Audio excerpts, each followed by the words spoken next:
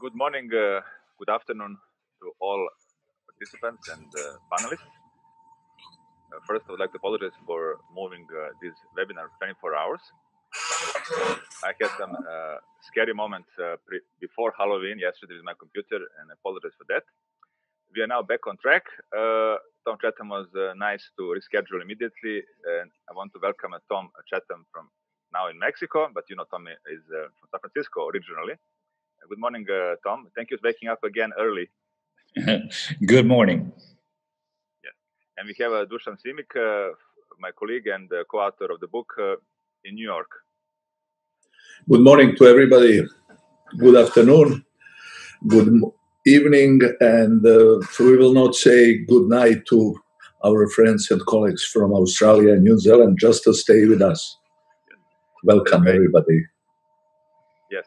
Uh, some of you uh, attended my previous webinars, and some of you attended my, our last webinar. It was uh, October 15 with Malai Hirani, uh, co-author of our book.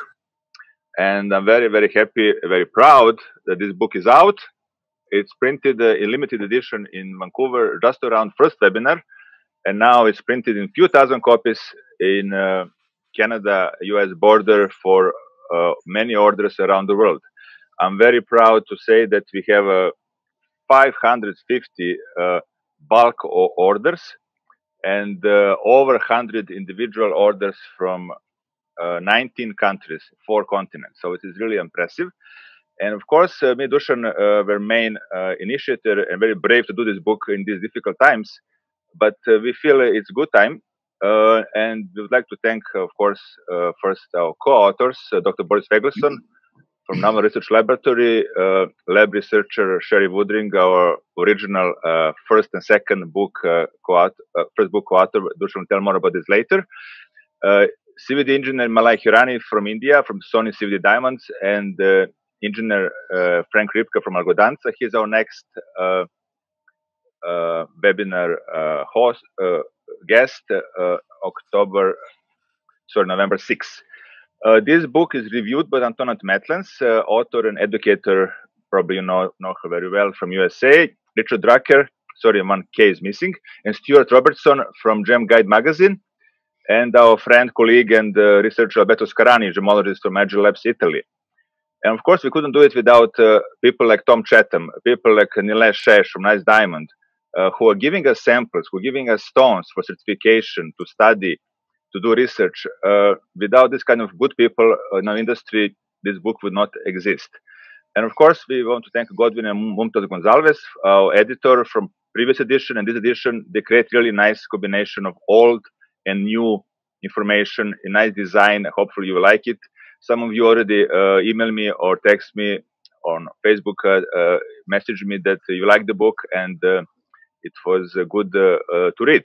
And of course, I want to uh, also mention our colleague, uh, countryman Nesha Popovic, who is a manager of uh, Mediterranean Gem and Jewelry Conference, who really uh, collecting all this information about webinars, books, orders, and really it's our, it's our right hand in this case. Again, uh, without major sponsors like uh, NCJV Australia, uh, my big supporter in education and workshops, and uh, USA, we would not even start this book. We got this uh, commitment from them ordering many hundreds of books in July, August. Uh, same with, uh, I want to thank uh, Gail Levine and Kim Hughes, of course, uh, Shirley Mitchell, she's with us uh, today, who ordered many books for UK. there are distributors in UK and Australia, NCJV Australia and GVA in UK. And you can see on the bottom of the screen these uh, direct link you can order from them if you're from Australia and UK. It's much faster, much easier for shipping, and hopefully you will do this. So now I would like to give uh, for a few minutes uh, microphone uh, to Dusan Simic, uh, my longtime friend and uh, and colleague and researchers. We met just a few days before my trip to US when I was studying GIA in 1995.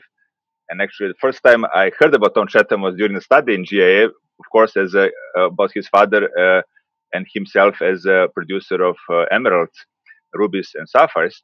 And many years uh, after, I'm still with Dushan. We still uh, do different interesting projects. We still do articles and books. we just yesterday IDEX published one article uh, from Dusan, and Dusan will tell you more about his journey from Europe to Africa and uh, Asia. So, Dusan? Thank you, Branko. Hello, everybody. And just uh, in few words and pictures, you know, I'll say something about myself. And of course, uh, everything uh, about the diamonds for me started in India under Pancharatna. You see the first picture. And uh, where I met, and unfortunately, I don't have a good picture from the uh, Indian famous gemologist uh, Jayashree Panjikar and uh, Mr. Ramchandran, who is not any longer with us. Uh, and uh, after that, train to Surat, uh, visiting factories, and also I met the Indian Diamond Institute, you know. And after that, it happened in the middle of the in the middle of the 90s last century, and then Branko and me, I think it is 97. We went, we went to 98. 98. We went together to Sri Lanka, travel all around, all mines and the people, and uh, just to learn about this beautiful country. I moved to I moved to States in 99. I started to work uh, in 92 for EGL USA and uh, mostly mostly uh, our our work from the first day was concentrated on the of course it is uh, identification but it was about synthetic diamonds. At the time we used to call like this you know and then uh, this picture with a with a yellow background is uh, from a conference in bangkok where we presented the the first uh, the first identify synthetic diamonds mounted in jewelry. In order to learn how to identify stones, uh, then I started to to learn how to how to create a problem.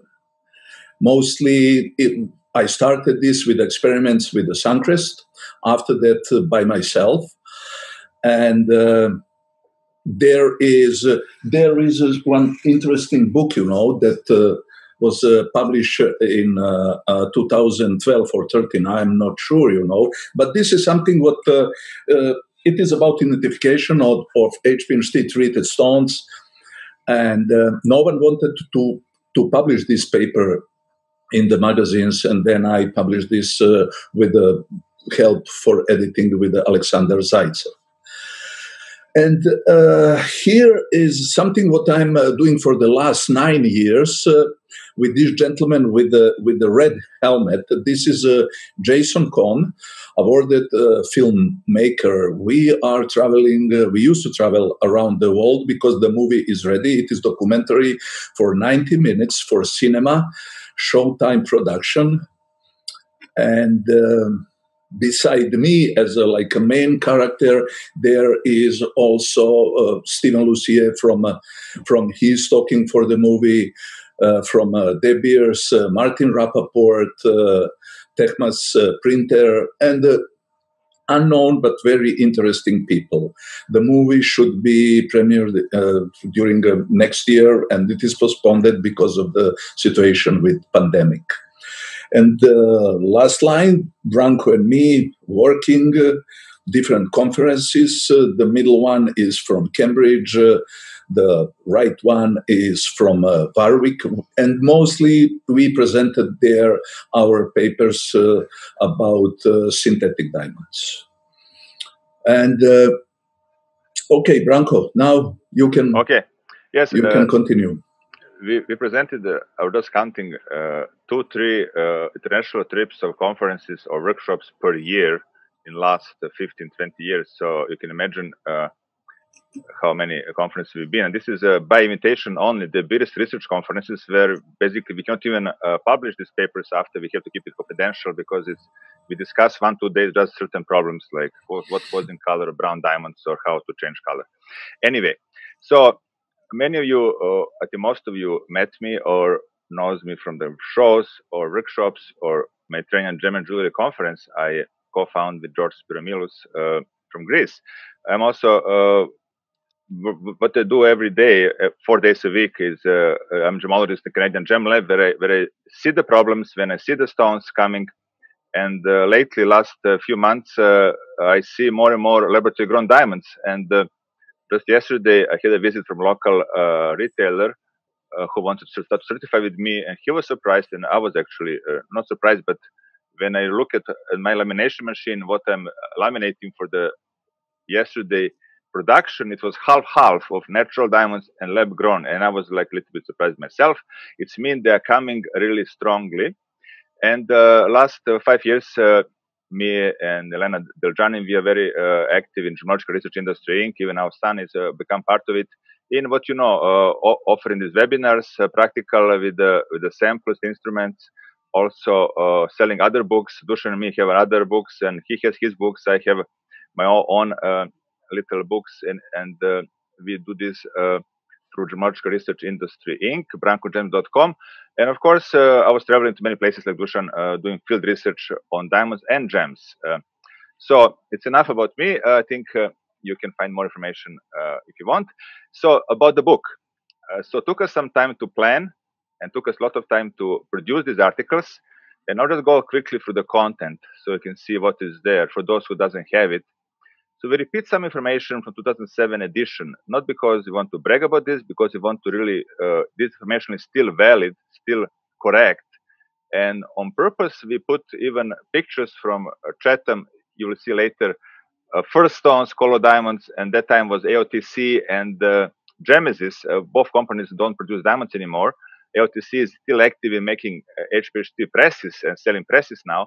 And Apollo Diamond, as you know, also does not uh, produce uh, gem quality diamonds. They may be active in some other uh, part of the diamond industry. Then we basically repeat this chapter background because it's a very good chapter and they have a very good background on diamond types, changing color of diamonds that me and Dusan uh, were big on HPHT uh, treatments and other irradiation multi-step process. Then this is part two. We really mixed old information, and new information, because we invited Boris Feigelson to talk about diamond growth overview uh, you'll see more about him later. And Malay Hirani about CVD diamonds overview. We also have uh, two additions. We talk about new producer uh, from 2020. Many of them pop up, as you can imagine, last 13 years. what's interesting to mention that we contacted and I have emails uh, really in Dusan. We spend like weeks and weeks trying to collect information from 100 plus companies. And guess what? We have 10 or 15 who replied, and Tom Chatham was one of them, telling us what he's doing now, what is very positive, very open. Many of them did not want to disclose who they are, what they're doing. We know them, but they don't want to do it publicly uh, in a book. And we have also Frank Ripka talking about uh, diamonds, interesting, uh, small part, but interesting part of uh, our industry. Of course, for us gemologists, appraisers, and many of you are, and retail receiver and jewelers identification is very important. And we dedicated over 60, 70 pages uh, in this chapter three, combining all the information, all pictures that are valid, and adding new chapters like uh, identification summary 2020 is different than 2007, of course. Uh, but we added uh, Sherry Woodring uh, from GQL laboratory put nice pictures of inclusions of diamonds. Even they're clean, sometimes they do have inclusions uh, Dusan and myself, we did uh, two chapters of cross-polarized filters, uh, update with new samples, and we want to thank Nilesh from giving us stones. And Tom Chatham also gave us some stones. And fluorescence as a screening tool. And the last one is really something that most of you, as end users, would do: send a lab, big big diamond to laboratory or get some information of grading of this diamond from local appraiser, or you do by yourself if you're appraiser. And we added very important article on tracking diamonds with the uh, patent, uh, the Dusan Simic patent uh, labeling identification system. And something that uh, people don't want to talk about it, but we always open a little bit uh, can of the new subject or difficult uh, topics like fraudulent replicas, people duplicating diamonds based on GIA, other reports, major labs. And we have a nice uh, actual dictionary, a nice uh, references and a few ads from our sponsors. And we have also a company from uh, uh, Russia, Ultra C, uh, was supporting us. so this is what we did the last two weeks ago. And we had really around 20 questions.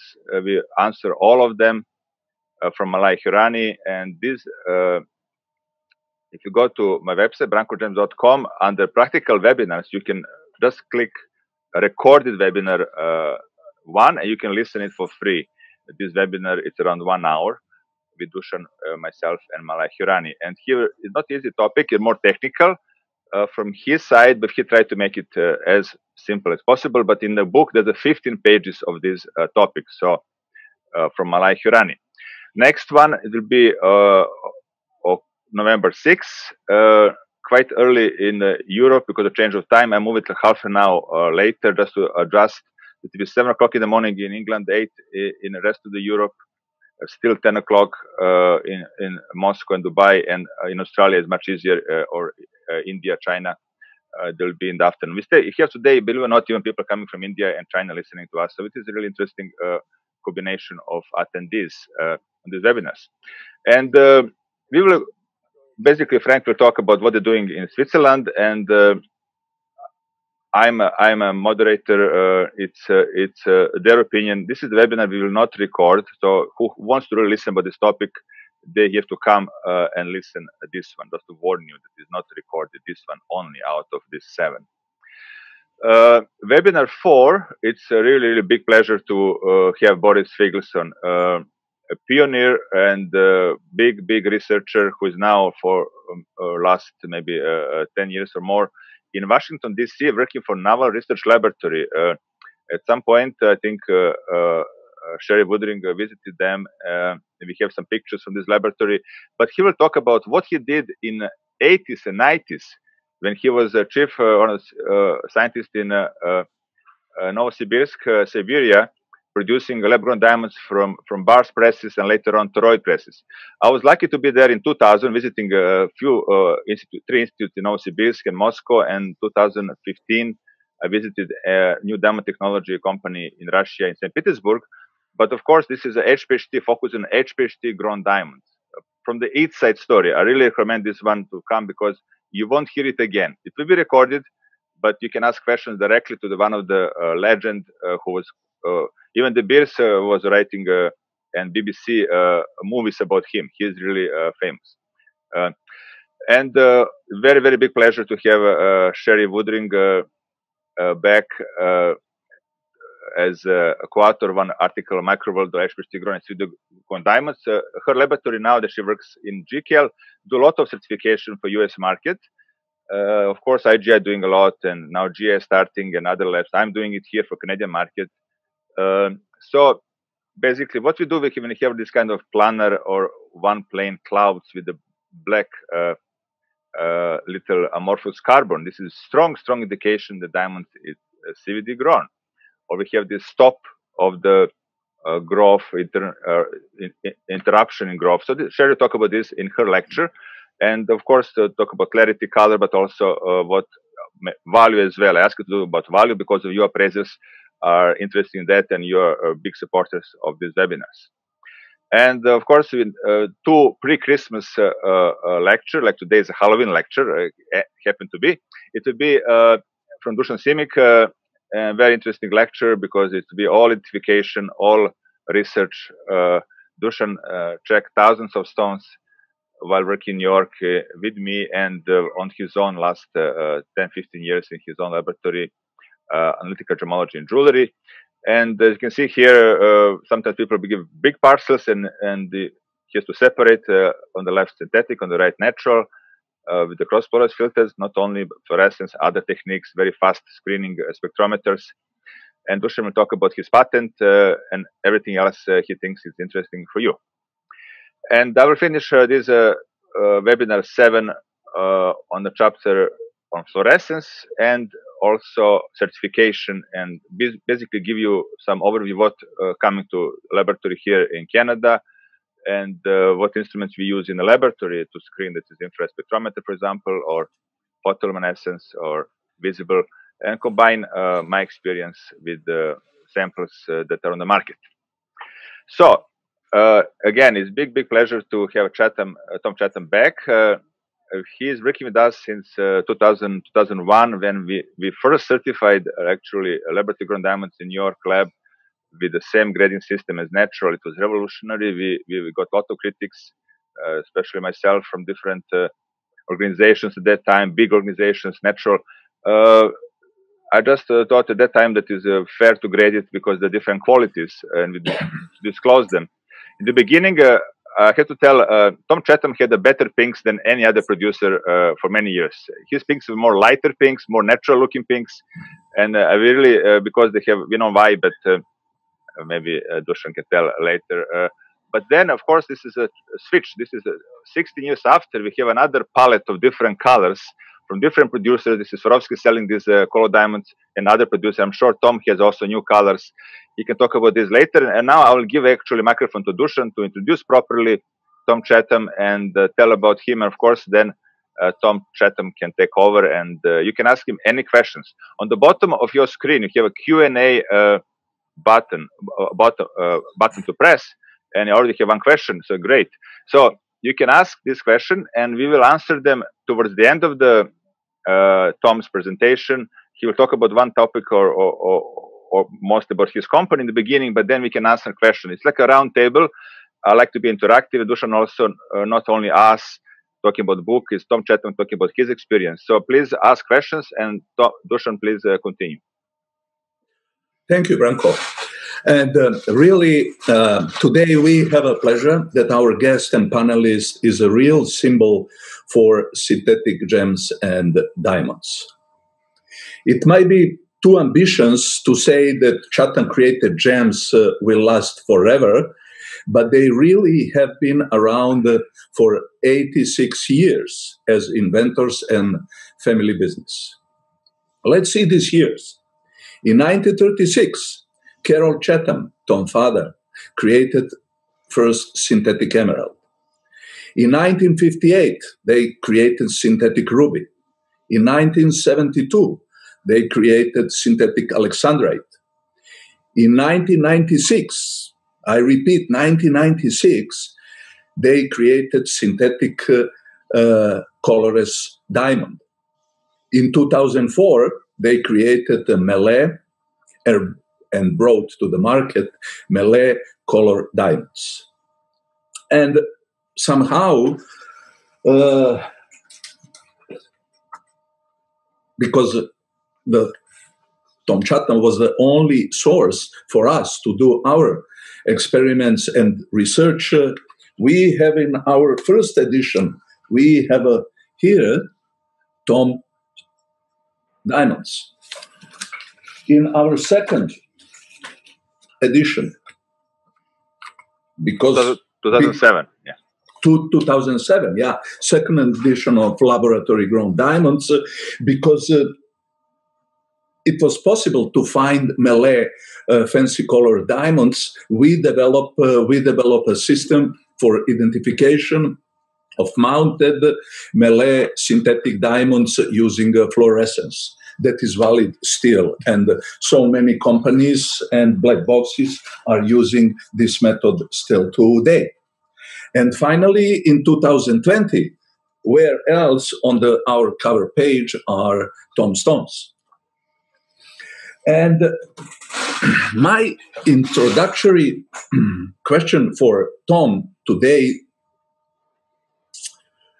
is we know, Tom, that uh, these days, in the last few days, you are looking for something uh, really big and expensive, you know. And uh, maybe we will deconcentrate you, but still, I have to ask you something uh, relatively simple, you know. How you feel in this new era of laboratory grown diamonds? How is going your business now, and how you see the future of laboratory grown diamonds? Please, Tom. Well, that's a nice, simple question. Um, well, you know, as you've described, uh, my history uh, with my family and my father and, and the work that he started uh, uh, back as a very, very young man, a young boy, actually. Uh, he had this passion for chemistry and he followed it throughout his life. Uh, I joined him in 1965 uh, to, to actually to just get a job. Uh, I did not have his his intellect. He was definitely a genius. Uh, even with my majors being chemistry and math in college, he just ran circles around me, and he hadn't been in school in 30, 40 years. His passion, though, is his number one passion was creating diamonds. Uh, that's what he wanted to do. He was never successful. Uh, he followed certain rules of chemistry that uh, we have now found are not quite true, and that is the laws of thermodynamics. And I have literally files four inches thick of communications from people over the years trying to get my father to try new approaches to growing diamonds. And if it did not follow the laws of thermodynamics, my father would have nothing to do with it. Of course, CVD has turned that whole thing upside down. Uh, I started with diamond purely by accident. I was in Novosibirsk chasing down some of my emerald competitors in 1993. And that was right after the breakup of the uh, Soviet Union. And there were. Sorry, Tom, is it Tairus maybe or Tairus, one of them? Was Tairus one of them? Yeah. Uh, yes, uh, but he was just one of many in Novosibirsk. Uh, Novosibirsk and Minsk, uh, Belarus, Moscow. I mean, the when the Soviet Union broke up, they left thousands of people in their positions without pay. And we had a lot of very knowledgeable people looking for something to do. And in Novosibirsk, I was taken to this very large uh, research facility that uh, two years prior I wouldn't even have been allowed into the city, much less this facility. Uh, and I was literally taken from door to door. And this man is making gallium arsenide. Do you have any interest? No, that's already, we do that in the US. We don't need that. Uh, the materials research that was going on in this institution was, was fantastic. One door opened up, and there was Dr. Vincent Vins and two PhDs. And he says, I make diamond.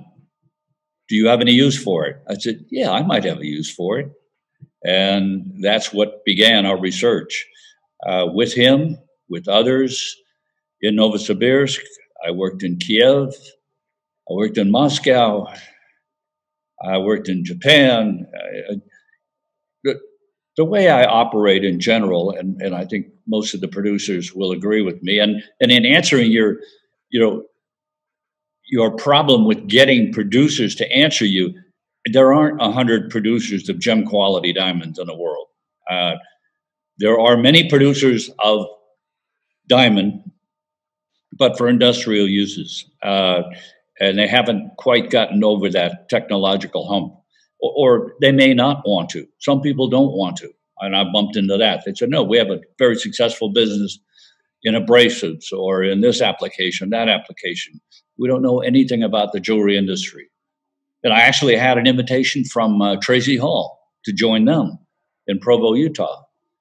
Uh, and the two sons, David uh, and Tracy Jr., both accomplished chemists and physicists, physicists, uh, but they had no interest in the jewelry industry, and the, the combination fell apart uh, because of that. So that's what it takes. And so I have that combination of, of a sincere desire to grow crystals uh, of value and to create a business.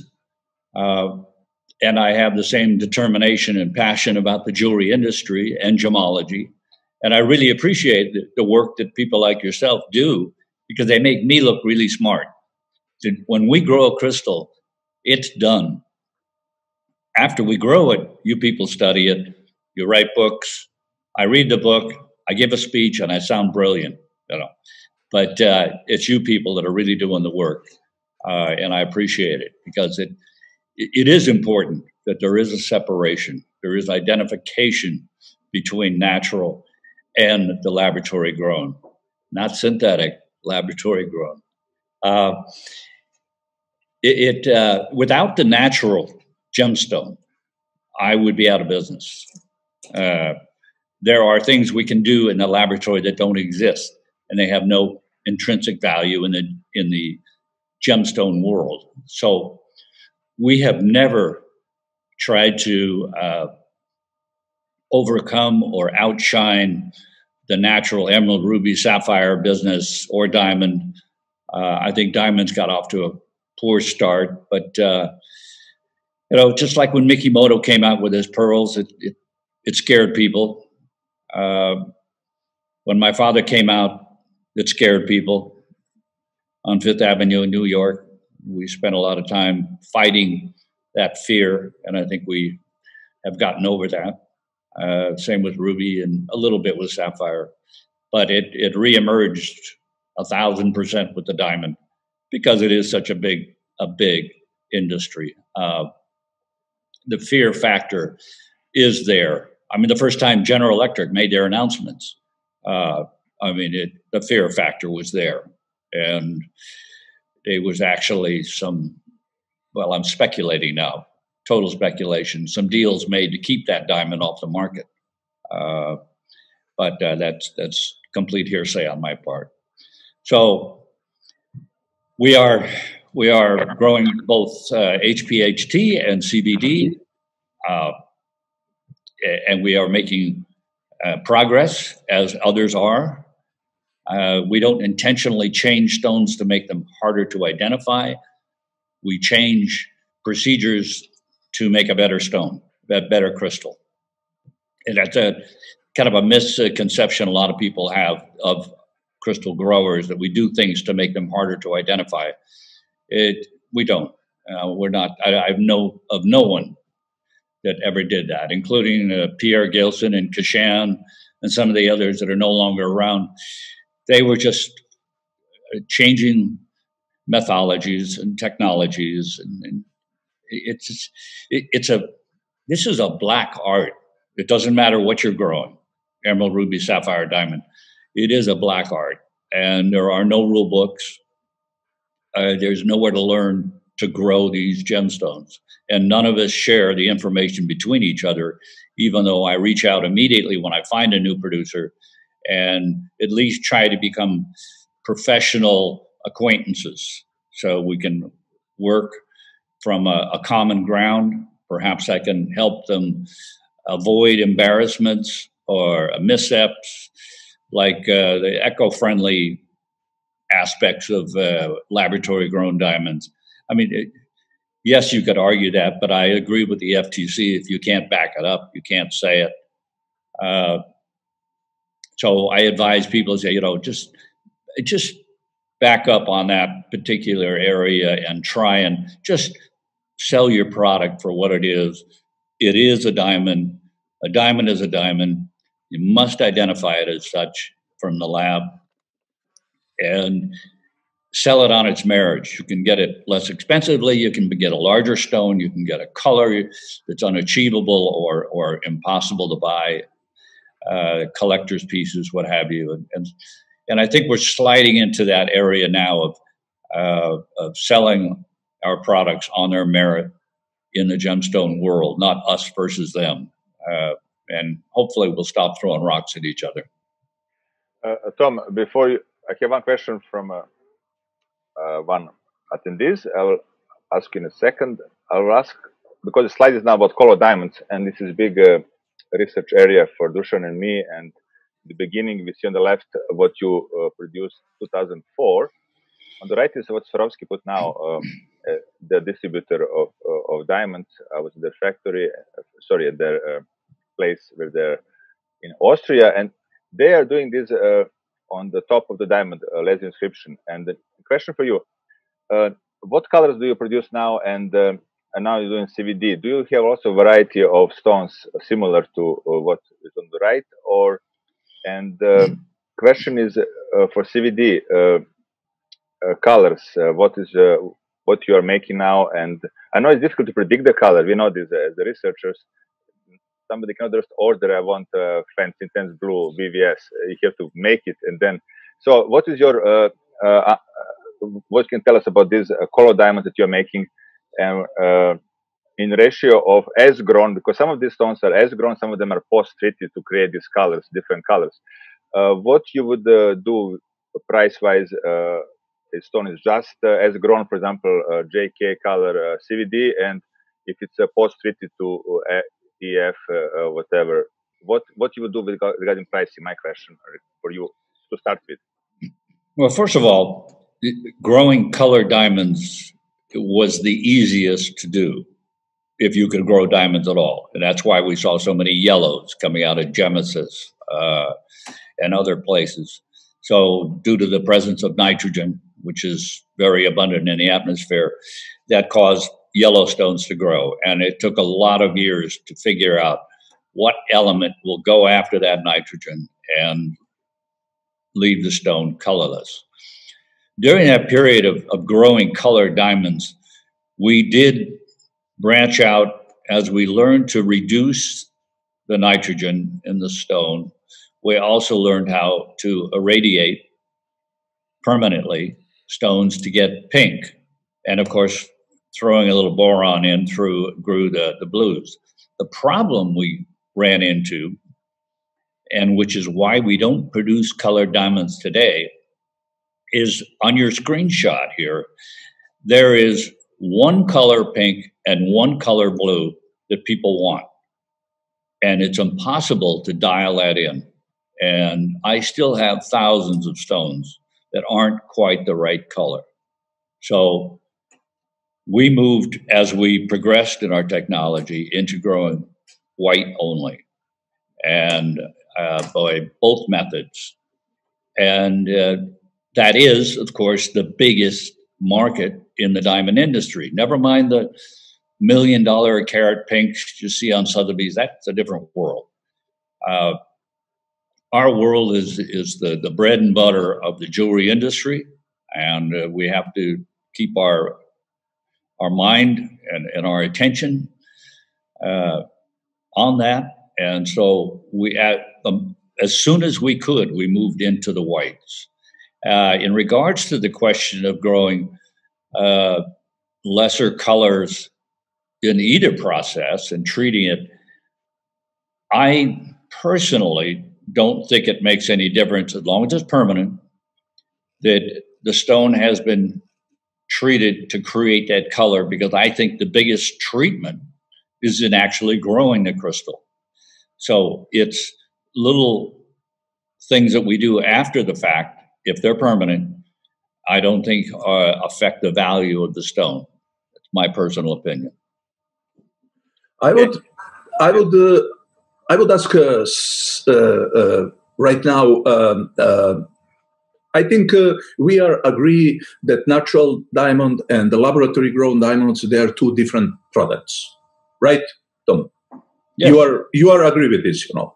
Just my question right now will be: What do you think about standardization in production of uh, laboratory grown diamonds. For example, that uh, by some rules, by some standards, uh, FTC will say, okay, every laboratory grown diamonds must have just 300 to 500 parts per million of nitrogen and could be HPHT treated, but not longer than for three minutes.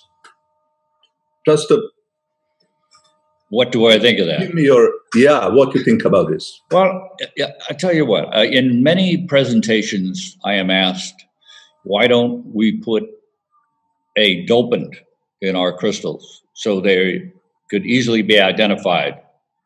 Uh, this was asked especially after the introduction of the flux ruby and the treatments that were being done to natural ruby that mimicked our inclusions.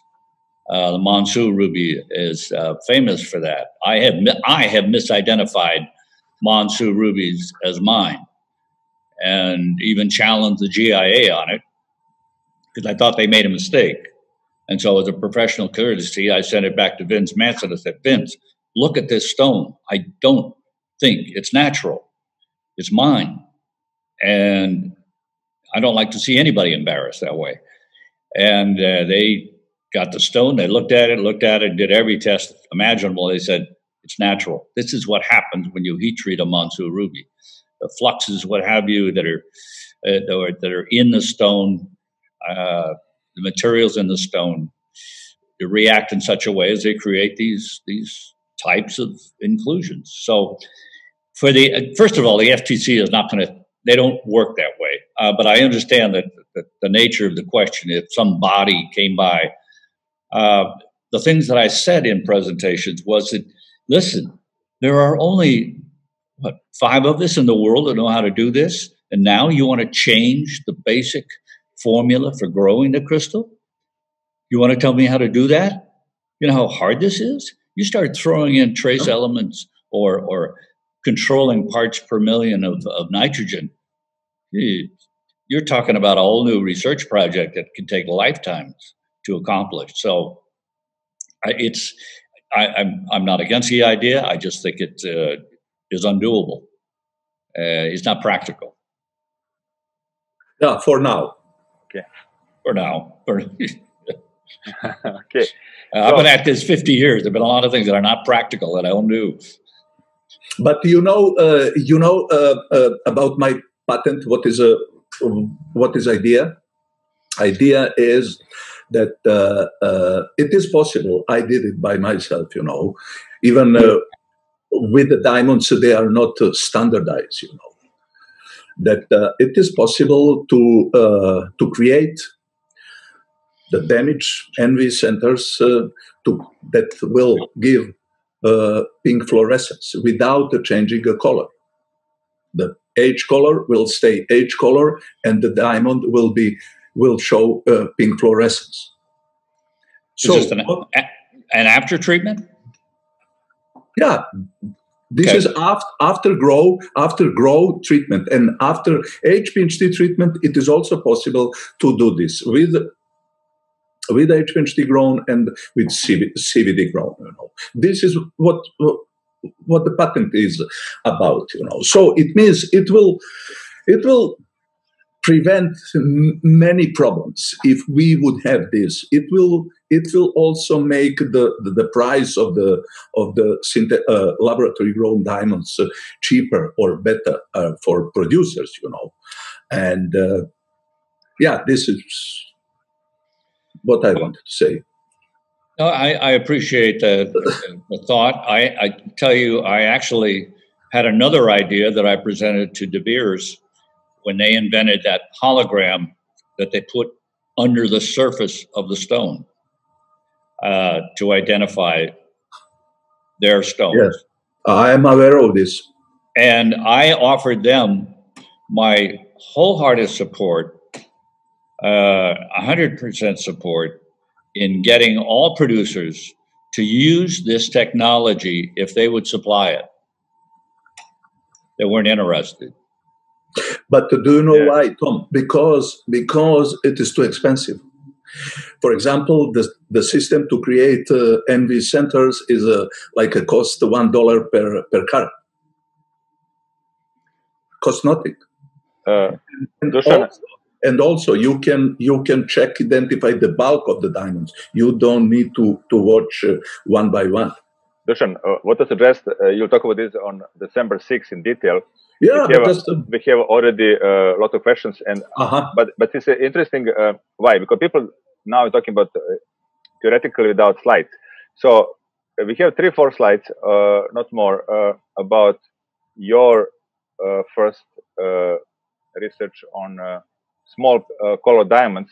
And you can show how pink diamonds fluoresce uh, uh, when they have NV centers because some of them are pink in these original uh, Chatham pinks, just to show the color. And if you just a guidance for this three, four slides, then I have at least uh, five questions, uh, six for Tom from the, our attendees. Okay, let's quickly go to the slides.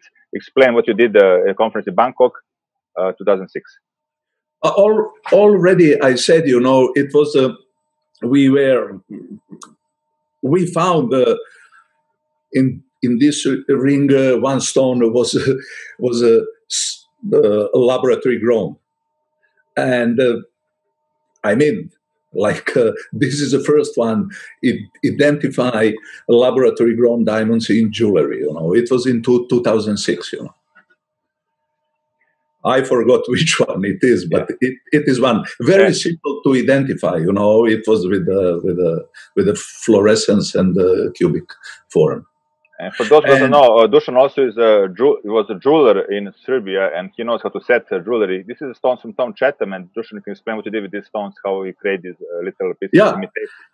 They are stones what we bought uh, uh, bought from from you in order to to make this uh, experiment and to develop a system for identification. And uh, so here are three different metals. So uh, we we identify this on two ways. One is fluorescence, and the second one is with the with the chemistry. Just uh, just uh, this is fluorescence. Like it is all, all, already very known. You know how it works. Almost all black boxes are working uh, following this method. And the but second. Is, what's important uh, for those you mentioned a patent? This is how it will look uh, very close to this uh, color of diamonds under a long UV light when they have NV centers, what the nitrogen vacancy center induced, correct? This is NV, NV, this is type of fluorescence we're talking about, orange. Yeah, but here, Red. here, here the original color is changed. Yeah, but but that's that's about fluorescence generally. And the second one, the se- second method is uh, like a chemistry in order to uh, to to to to follow catalyst uh, in uh, in HPHT uh, grown diamonds uh, like iron and cobalt. And the blue, blue, blue, blue, blue graph is a background. Actually, this is a metal, and the red one is is a stone where we obviously see cobalt and uh, iron as a as a proof that the stone is uh, laboratory grown. Okay, so now I'll keep this slide for some time because uh, for those who repeat these years on the bottom of a very very short Tom Chatham bio because it was very long. I had to make it very short because he, he's over 50 years in industry. Like uh, when I was born, uh, he started. So uh, I have a question, uh, Tom, for you. Uh, whoever uh, put a name, I will read the name. So if you don't want to be an anonymous, you can you can you can remove your name. so from Gina Barreto, Tom, from one to ten, how you would rate the envir environmental commitment of the lab-grown diamond industry, what they should do in order to improve this topic. Do you think it's fair to say that synthetic diamonds take more care of the environment in comparison with natural diamonds? Thanks. Well, first of all, yeah, there is no product made that does not affect the environment in some way, in some little way. I mean, the carbon comes from somewhere. The other elements we use come from somewhere. They're you know resourced from the earth. The steel, the you know all of those things do affect the the, the earth. Uh, we don't dig huge holes in the ground uh, and leave them like uh, the natural people do. Uh, we don't contaminate uh, water sources. Uh, we have strict rules and regulations in regards to anything that comes out of uh, one of our furnaces. Uh, been in existence for a long time, but um, I, I, I don't know. It's a, it's a to me it's a non-issue for laboratory grown diamonds to even mention the uh, uh environmentally uh, uh, effect environmental effect they may have because it's it's it's a to me a distant second uh, as far as importance. The important thing is is it's a diamond, and uh, it's less expensive and it's bigger. So that's my opinion on the environmental issue. Okay, thank you, Tom. And uh, basically, two questions from two people, but uh, similar. Uh, so I will bind them together. Uh, from Snate in Canada and Jonathan USA. Uh, what is the highest color grade of CVDs and what color grade whites are you producing via CVD? Oh, color grades. Well, we're we're in the D's, you know, D color mm-hmm. uh, in both both processes. Uh, so uh, we get lesser, of course. Uh, we, we, don't get down into the J's as before in CVD. Uh, everybody is constantly researching this. You know that the these aren't new processes either. CVD has been around longer than HPHT. Uh, people just weren't aware of it, and people like myself didn't apply themselves to it. But uh, it, it, there's there's breakthroughs. Well, it's been amazing how many breakthroughs there have been because it, it took oh 20, 30 years for somebody else to grow an, an emerald. That was Pierre Gilson uh, after my father. And then after I joined him and we grew Ruby, it only took another 10 years. So it's, I forget who's uh, the famous quote that uh, things are leapfrogging in, in development, doubling every year uh, in, uh, you know, chips, uh, components, and their ability to, to handle information is doubling and tripling every year.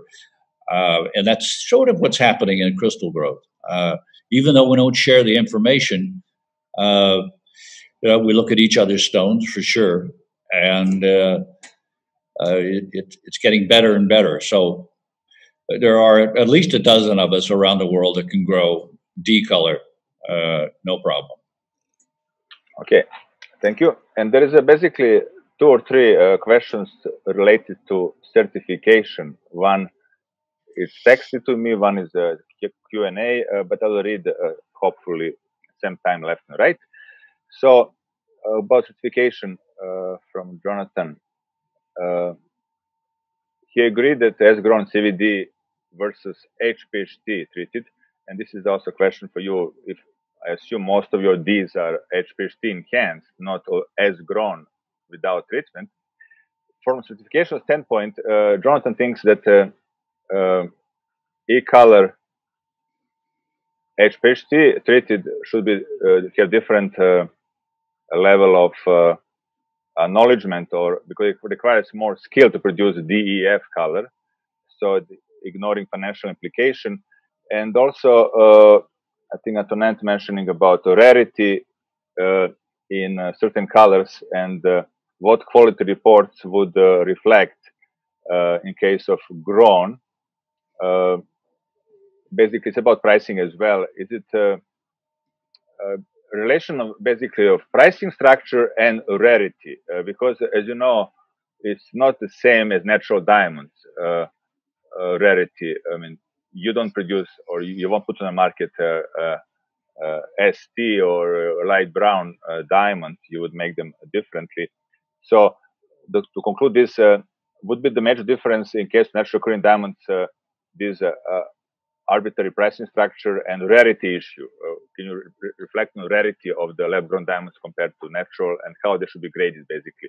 As you know, GIA now started to grade them uh, the same scale. This is new press release, and uh, Dusan Simic replied, uh, uh, and we because we, we, don't talk about this in this book, but maybe mention next year what we think, what Dusan thinks about grading of laboratory grown diamonds. This is another topic, grading of these diamonds. Yeah, I've never been a, a proponent of uh, certification or grading of uh, laboratory grown diamonds. Uh, I remember talking to Ralph Destino of uh, the GIA about this very subject when he was uh, proudly introducing this new uh, certificate they were going to use at the GIA to grade laboratory grown diamonds. And I said, we don't we don't trade paper. And that is what your certificates have turned into, whether you like it or not. And I think they would be hard put to disagree with that. I mean, that's what they're doing. Uh, and people like Martin Rapaport have have uh, furthered that concept of trading paper, and it is it, it is a good way to communicate information about a product without shipping it. I agree with that 100%. But You know, I we do it now. We grade our stones, and, and the people that work for me are all GI graduates. Some are ex GIA diamond graders. Uh, so we know what we're doing. Uh, the GIA certificate is expensive, uh, and it's probably the most expensive in the world. Uh, so we don't use it, the primary for that reason. I don't, I don't personally believe in grading and and uh, lasering of uh, girdles to identify a stone. And I've said this publicly a couple of times. What I believe in is people know their gemology to identify a diamond or stay out of the business. And that's what I don't like is when somebody says, I got taken in Bogota with one of your stones. And I've had somebody say that to me in my office. I lost $50,000 because of you. And I said, What business are you in? He said, Well, I'm a pilot. I said, I don't fly planes. You don't buy gemstones. so it's a very good answer. you know, and he was ready to kill me. And I said, You just, you shouldn't be in this business. I mean, there's a lot of you know, we take a lot for granted. I mean, we're around gemstones, we, we're around gemology, and you guys have done a great job in simplifying it. Uh, and I think it's good. But uh, as far as certificates and, and lasering, uh, I consider it a false crutch. It's too easy to cheat. And like you mentioned in the introduction, uh, you can take a natural 2A uh, stone, get it certed, and then since all of ours are all 2A, you could copy it. It's a little hard to do, but uh, I, am sure it could be done. Uh, it, it, would take a, you know, people would say, well, who would spend months doing that? Well, if you're talking about twenty, thirty thousand dollars, I spend months on it. Uh, I think we've all seen some great uh, fake stones created in the industry or in the industry worldwide over the years. Uh, when there's a will, there's a way to do it. But uh, so the certificates are, are, not, in a nutshell, important to us. Uh, it's a means of communication. Uh, we use our own certificates. And we grade with the same standards the GI does. And, and I, I've got to mention because my friend uh, Robert James has brought it up a few times, is none of the grading standards will stand up in a court of law. There's nobody says that this is the way to do it. So, what good is it? And so, it's a means of communication. That's that's it, in my opinion. A very interesting uh, standpoint, and uh, I know you're a big promoter of education, and this is uh, thus coming to this webinar. This is you proving that you want to share information and educate people. And I know I am uh, over the last 15 years in my workshops and uh, and the lectures and Dusan as well. So we do think uh, books like this are necessary to promote knowledge, information. but what is scary for me, and we know this, me and Dusan, but we really think this should be uh, every jeweler, retailer should have this book as well, not only uh, appraiser or gemologist, because they have to understand how to detect on their level of standard instrument at least. But yesterday I have a wholesaler, one of the biggest wholesaler in Vancouver, and biggest retailer. Both of them came to visit my laboratory, and I have behind me uh, six or seven instruments from the $300 to the $30,000. And I try to explain them because they want to see the laboratory they're not interested because they, they, they don't want to learn. They just like to buy black boxes and just put a machine. Why I'm talking about this? Because there's one question uh, in the beginning that I, I, will come back to this because I like to answer all questions, even uh, from Antoinette Matlins. If I'm familiar, I, I guess uh, not a question for you, Tom, but I want to cover this uh, knowledge and education component. Am I familiar with the ARI colorless diamond tester? This is the box uh, ARRI. Uh, it's from Presidium just came to me two weeks ago uh, because uh, I do a lot of instruments I'm selling on the website. So they asked me what they think about their uh, their instrument. Uh, to answer to Antoinette and other people, uh, it is a screener. I did not test it on my 55 samples like other seven instruments. And those who attended my webinar in spring, it's uh, I have this analysis of seven instruments, including GIA, Diamond Check, and that I, I, don't owe, and and uh, from uh, uh, you Yehuda from uh, uh, a company from I remember from Israel. so the thing is, it is a screener for those who don't want to know. It is a good screener, but not final identification. Why? Because still your Type 2A natural diamond would refer as Type 2A. It won't tell you if natural Type 2A or or lab grown Type 2A. It will just screen all these unusual rare uh, types uh, based on, I assume, UV uh, transparency. so this is my answer. I did not check it yet on all samples because busy with these two webinars. but next week I will do this. And who comes to the webinar in October, December 18, I'll be talking about this more in detail uh, of findings. There's also instrument uh, from John Chapman in Australia. It's a mini, basically spectrometer. There's also instrument Dusan is working with. Uh, hopefully next year will be on the market. Uh, we will see uh, how far how fast it could be done. The basically spectroscopy is the key and final answer, but all the rest is like a screening instrument. So this is my opinion on this instrument identification. Uh, it's good if you don't have I anything. Will, I will just add something, you know, that none of these instruments respect uh, the basic rules that we have in our labs. we have to make the final de- decision by using at least two different methods. And only if you are following this rule, you can solve the problem. But, okay, this is a long story.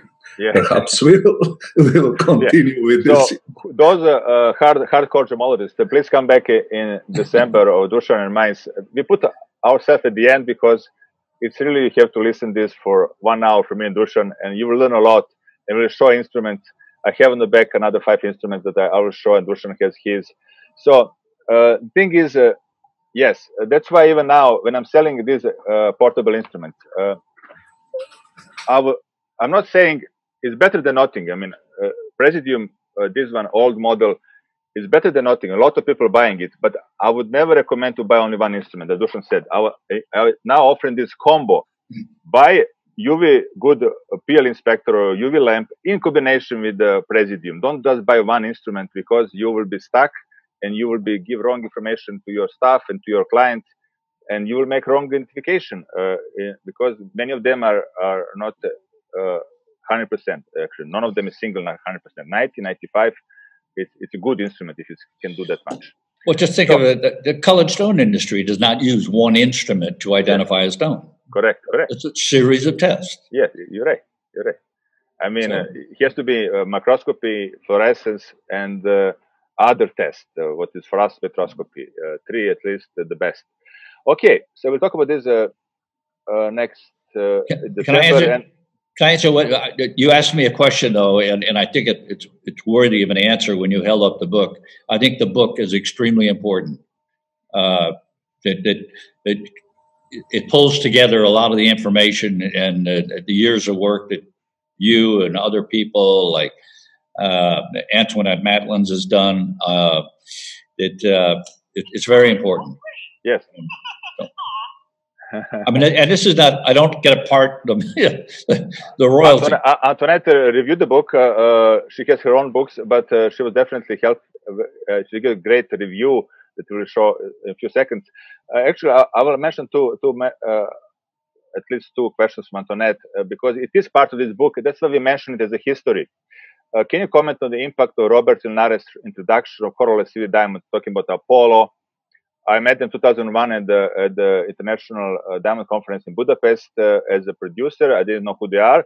2000, 2003, they brought the stones to laboratory.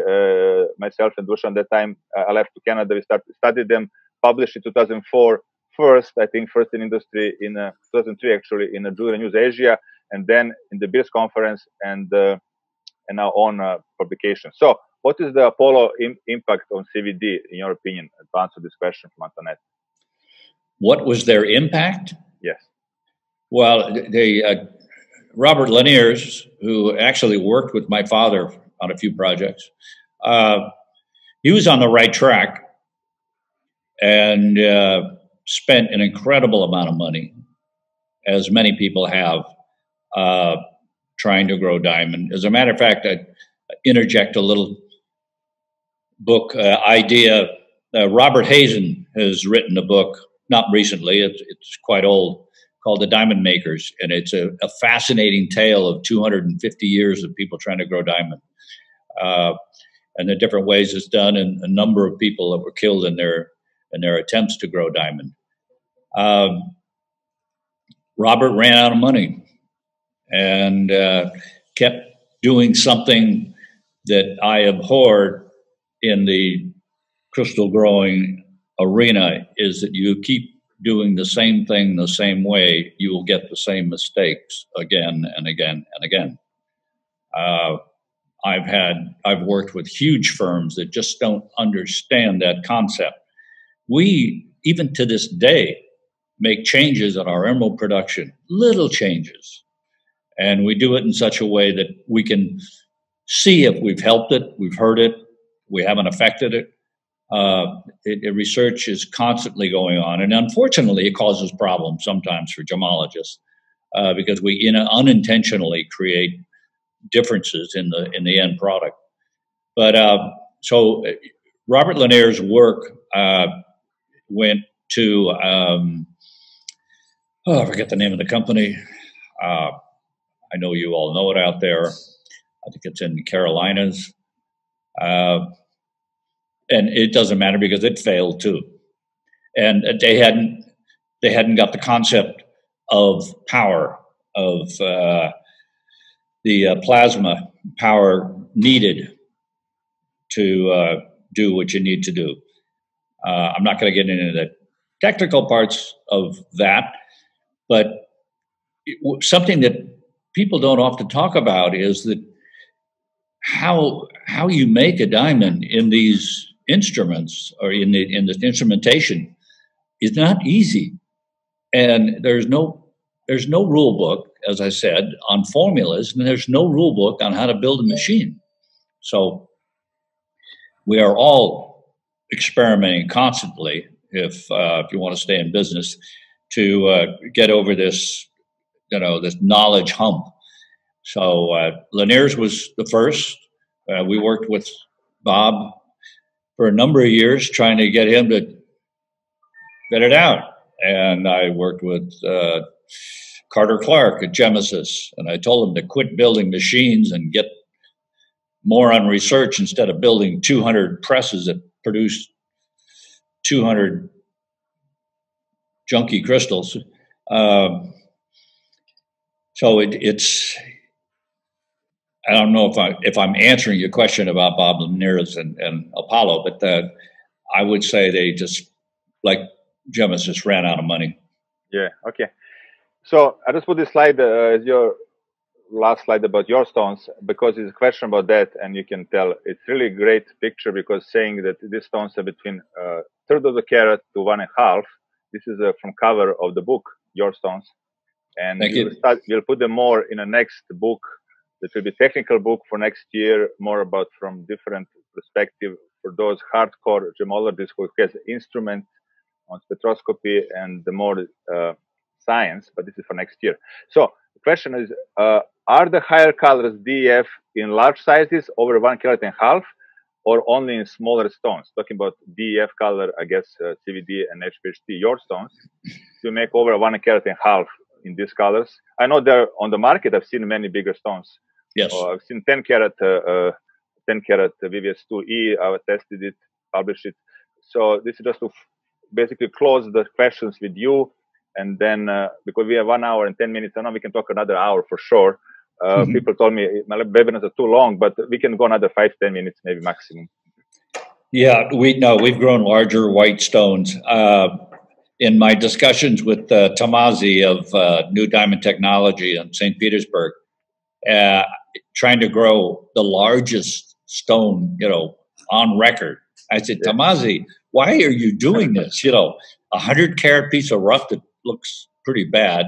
I have a picture. I didn't want to show it, but I'll show it in my presentation. A 120 yeah. carat uh, uh, yellow diamond crystal. Yeah, they grow yeah. it. But uh, and I got to take my hats off to them. I mean, they are the best crystal grower I think today uh, in the world. I don't know about De Beers; they don't like to talk about anything, but they're good crystal growers too, of course.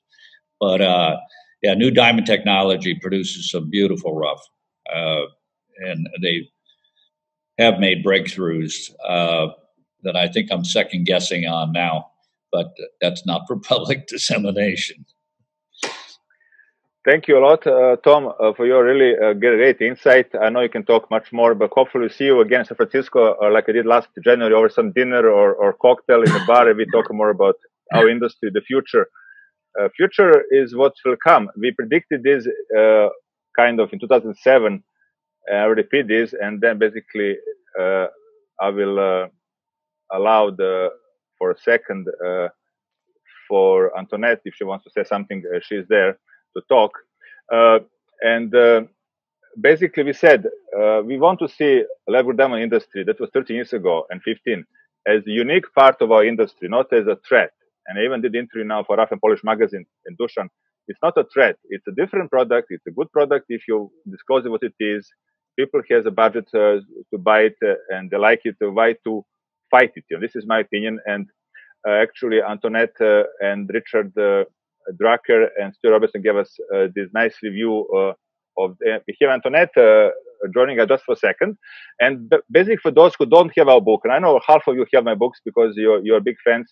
Believe it or not, people uh, emailed me this morning. Sorry, Branko. Yesterday I was up to one o'clock in the night in Sydney and Mel, uh, uh, Brisbane waiting for the webinar.